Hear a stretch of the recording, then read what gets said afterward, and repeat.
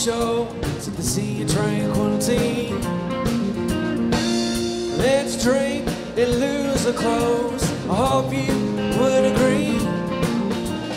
I'm Dan Lotti, and I'm a professional musician and songwriter. My name is Mike Sivilli. I, uh, I play guitar. I'm Steven Sandifer, and I am a drummer and sometimes upright bass player.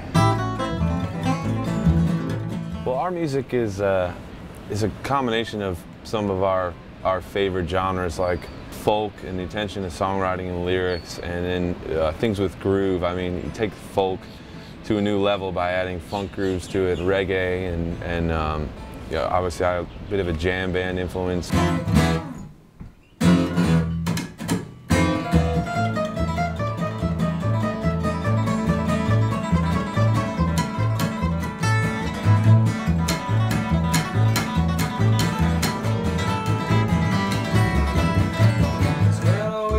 Walk into the wind.